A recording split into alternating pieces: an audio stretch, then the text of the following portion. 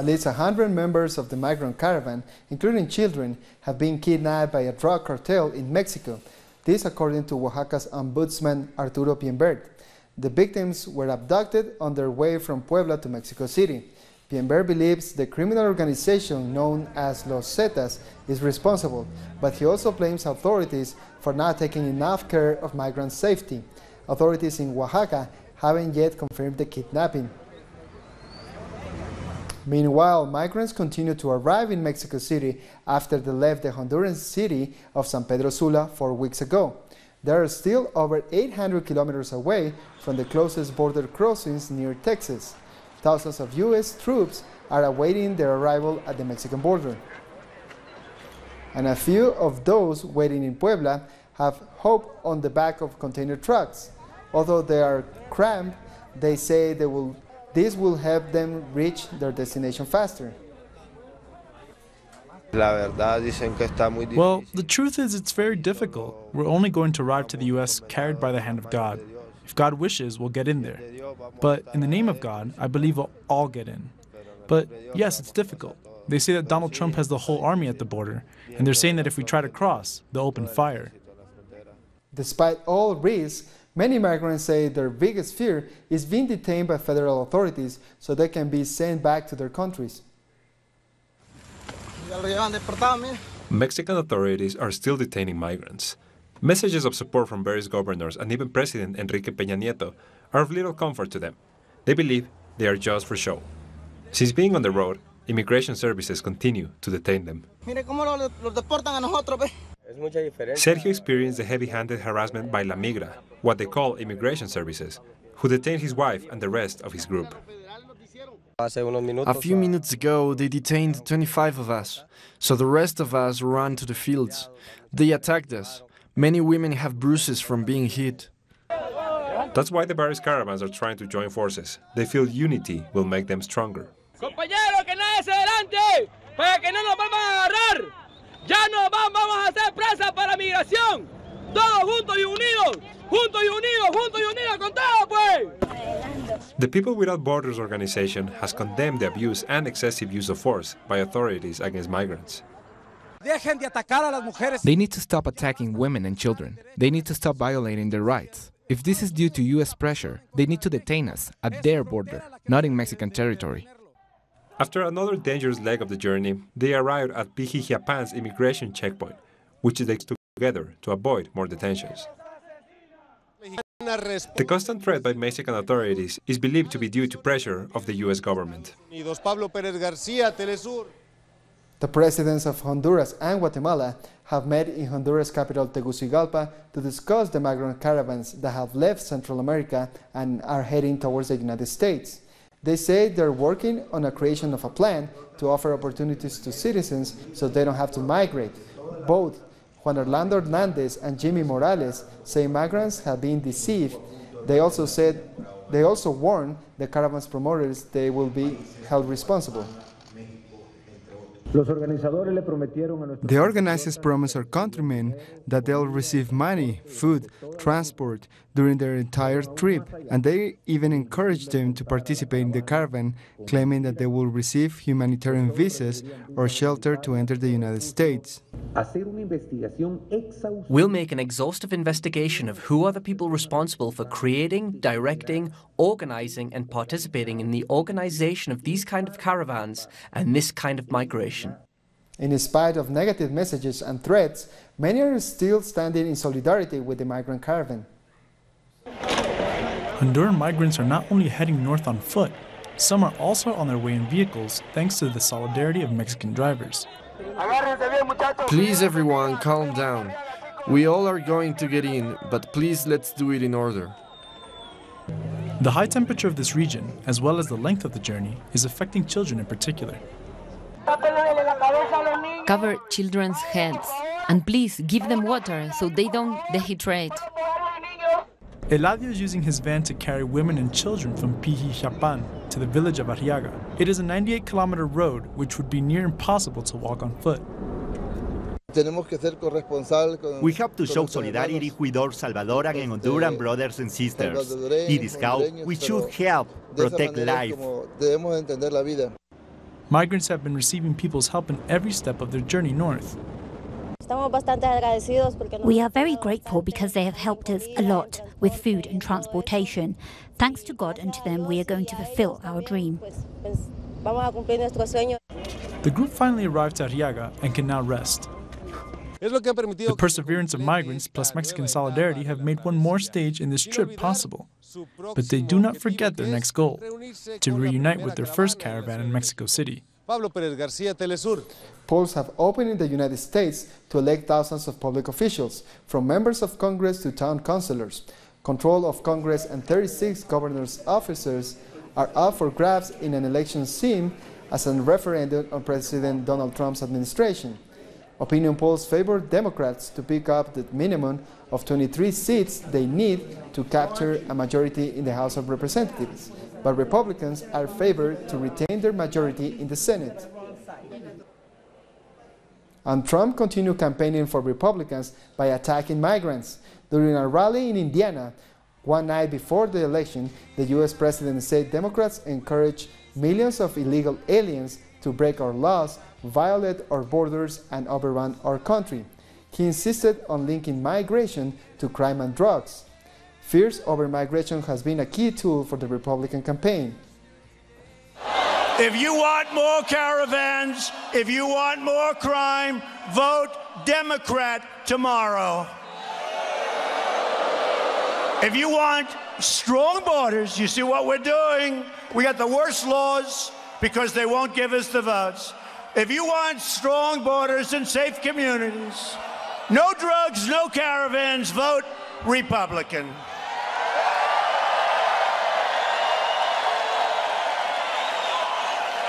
All right, get them out of here, please. Get them out. Out. Out. Go home to mommy. New York is one of the states with the biggest presence of Latinos. The electoral race between Republicans and Democrats is tight, but the outcome of of, is vital for the migrant community. New York will elect its governor, state prosecutor, and assembly, and Senate representatives. New Yorkers have their eyes set on the high chamber of the state because, depending on the results, the balance could keep in favor of Republicans or change to Democrats. I want to see it changed. I want to see it checked. I don't approve of what it's doing. So um, you know, I don't think my voice is being represented. We don't participate, participate who we going who we gonna have in office? Then we got to do some research and find out who we want. Right? That's the main goal.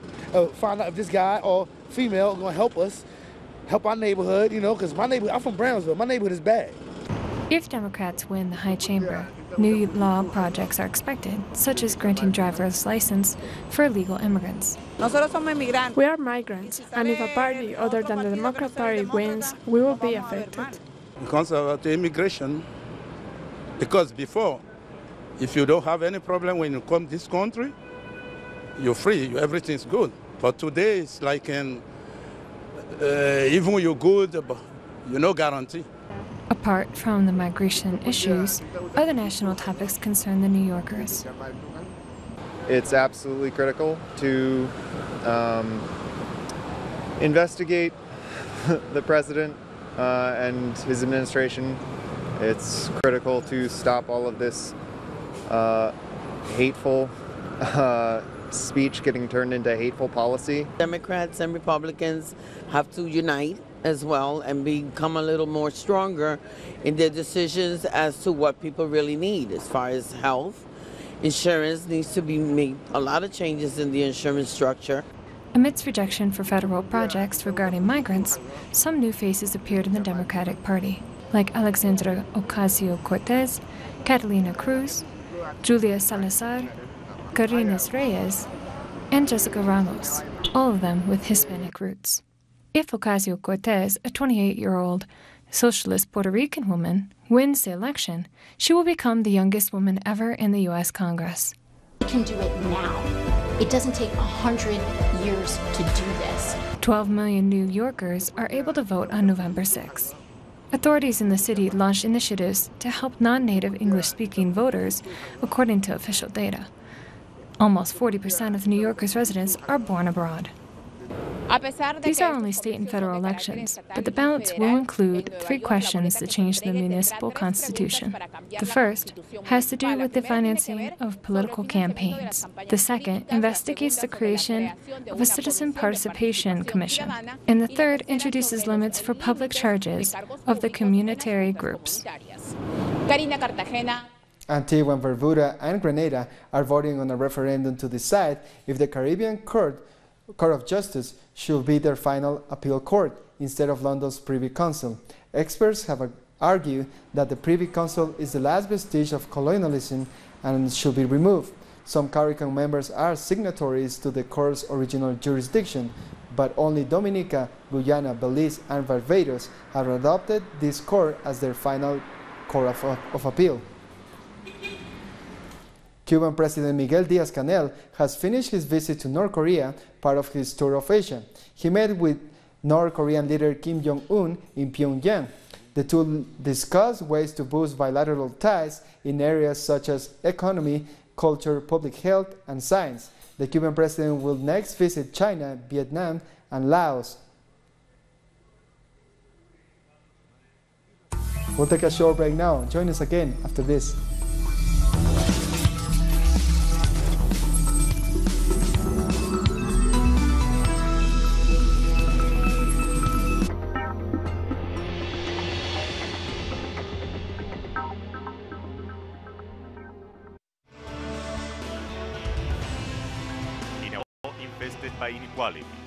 Abuse of power, and injustice.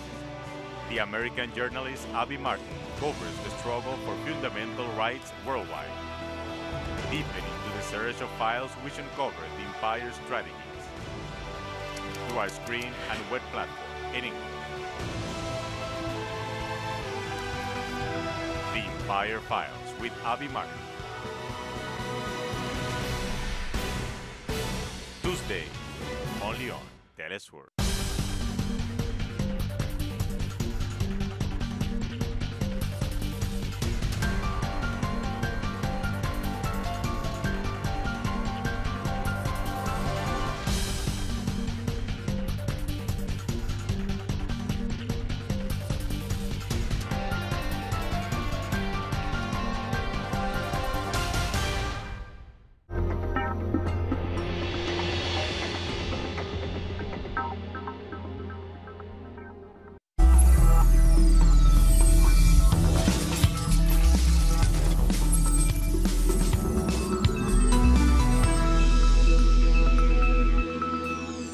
Welcome back.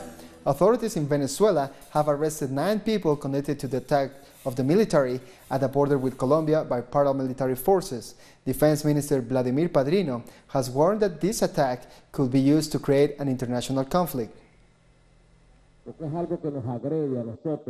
It's something that affects us all. It's a consequence of the internal war that Colombia has not been able to solve for the last 16 years. Venezuela is the victim here of this Colombian aggression from its violent groups. I asked the armed force for restraint because this is a strategy to provoke us produce a false conflict on the border and escalate it. We cannot allow this to happen.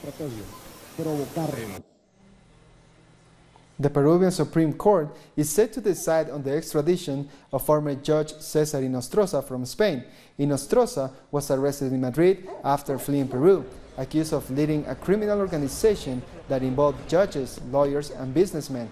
If approved, the extradition request will be sent to the executive power. The former judge is also facing 36 months in preventive detention. Three former Peruvian presidents could be indicted on corruption charges. Some experts believe former President Alan Garcia and opposition leader Keiko Fujimori should also be included in the process. The Legislative Commission for the Lava Jato case concluded that 11 public projects executed by Brazilian companies like Odebrecht are linked to corruption cases. This has caused a loss of $7 billion for the Peruvian state. Three former presidents and dozens of politicians have been made responsible for this, but others were excluded.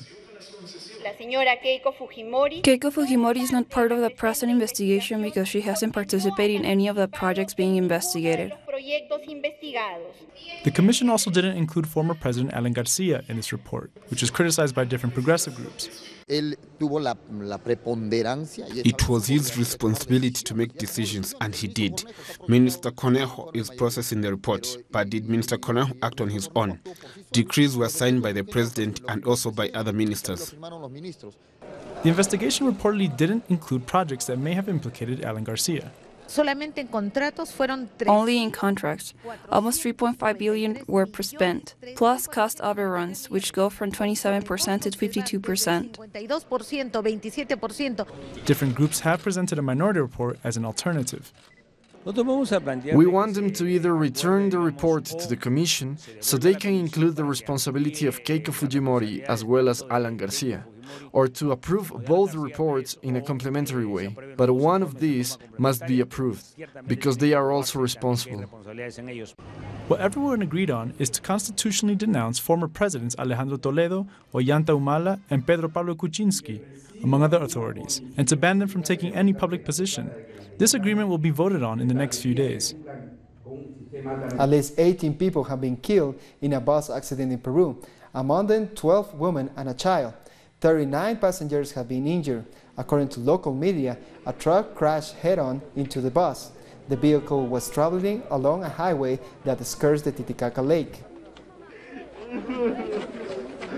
The trial of Mexican drug lord Joaquin El Chapo Guzman has begun in New York. He's charged with 17 counts of murder, drug trafficking, and money laundering. El Chapo is responsible for smuggling almost 200 tons of cocaine into the United States.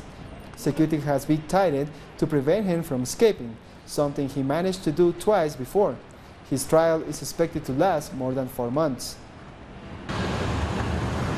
In Chile, a forum is discussing the rise of the right wing in Latin America.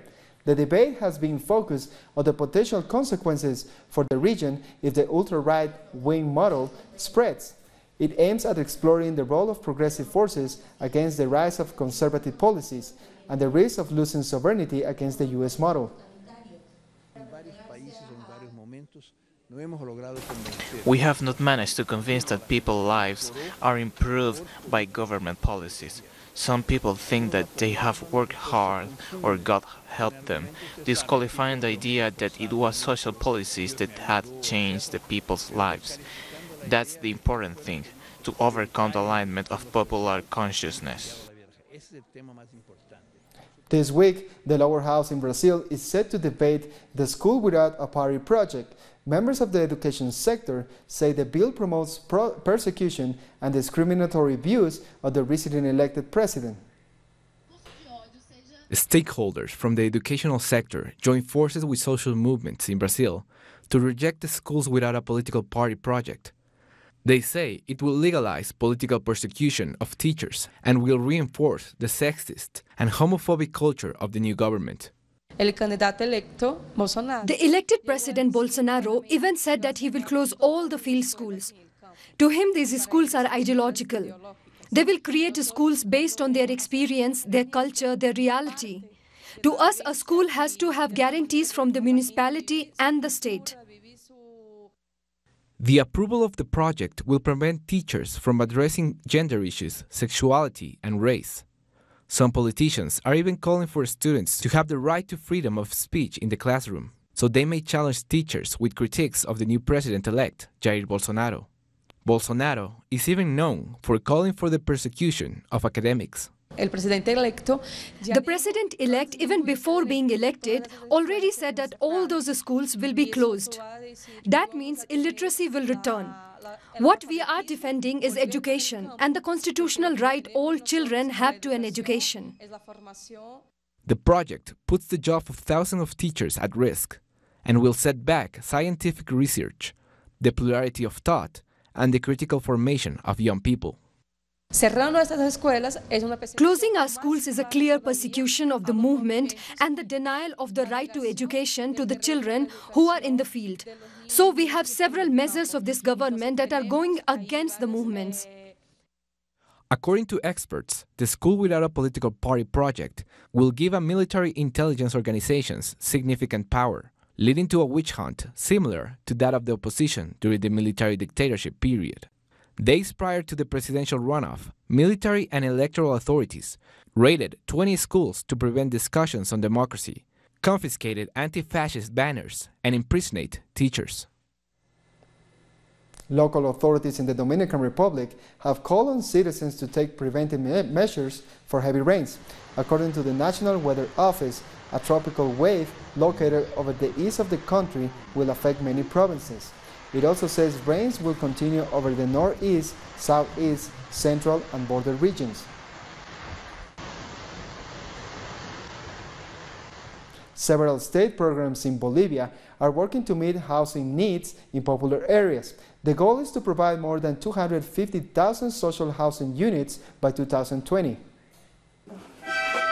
The house of the Choque family in one of the popular areas of the city of La Paz is no longer a place it can call home, as it now poses a risk to their safety.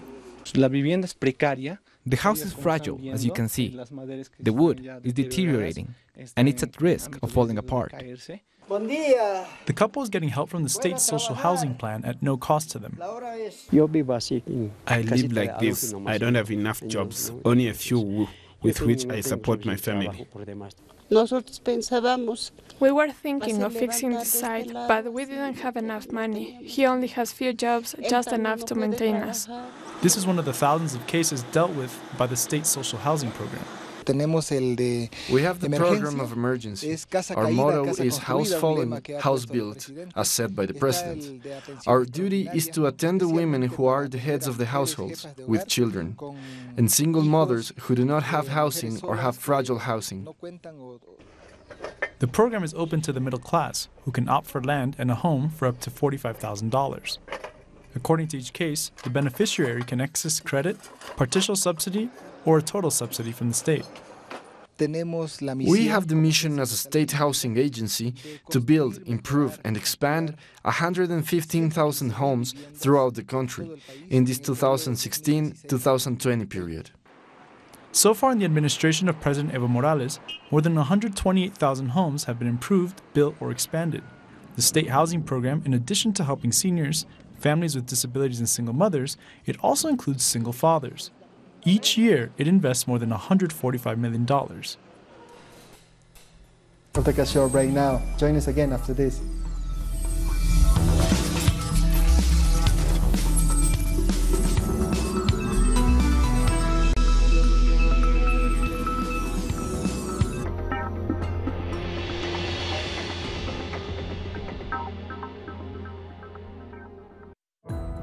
Our actions have an impact on the environment.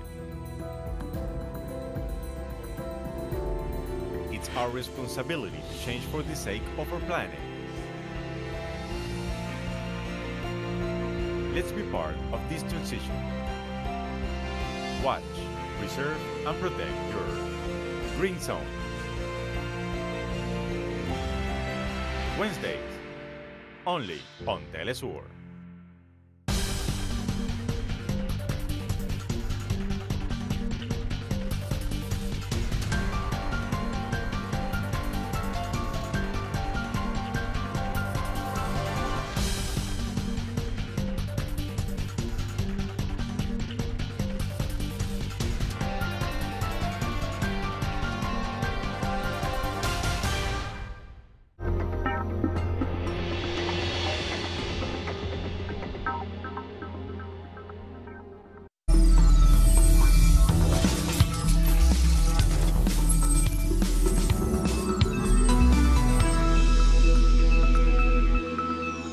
Welcome back. Turkey's foreign minister said the man that flew to Turkey to kill Saudi journalist Jamal Khashoggi must have acted on orders. However, he insisted that the directions had not come from Saudi Prince Mohammed bin Salman. In a press conference in Tokyo, the minister also said that Saudi Arabia has the responsibility to tell its people what happened with Khashoggi's body. The Saudi journalist was killed in the Saudi consulate in Istanbul early in October. At least 79 students have been kidnapped in an English-speaking region in Cameroon. This is the worst incident so far in 13 months of unrest by armed separatist groups. The conflict has forced more than 300,000 people to flee violence in the area. Meanwhile, Cameroonian President-elect Paul Biya, has been sworn in for his seventh term. Biya won the presidential election in October with 71% of the vote, although voters denounced alleged irregularities. His inauguration was held in the capital Yaoundé under strong security. The 85 years old has been in power for 36 years, becoming one of Africa's longest standing leaders. Gambia has signed a new bilateral agreement with France. French Foreign Minister Jean-Yves Le Drian is on an official visit to the country where he met President Adama Barrow and Foreign Minister Mamadou Tangara. This agreement will work through the French Development Agency. A new French embassy has also been inaugurated in capital Banjul. And I would like to seize this opportunity to sincerely thank France for the support. For those of you, of you who are not aware of it, during the very difficult days at the UN, one of the first ambassadors who came to me and told me that, Mamadou, be rest assured that France will be by your side, was the French permanent representative. Different restoration projects are taking place in Egypt's capital, Cairo, in a bid to save its cultural heritage and history. The Islamic Quarter is a UNESCO World Heritage Site that boasts some 600 listed monuments. But decades of dilapidation, attacks, and pollution have caused this, the site to severely deteriorate. Now, through a series of projects, the site will, will be restored to its former splendor. We come to the end of this news brief. These and many other stories you can find at our website at telesurtv.net slash English. And join us on social media, Facebook, Twitter, and Instagram. For Telesur English, I'm Jose Daniel Lopez. Thank you for watching.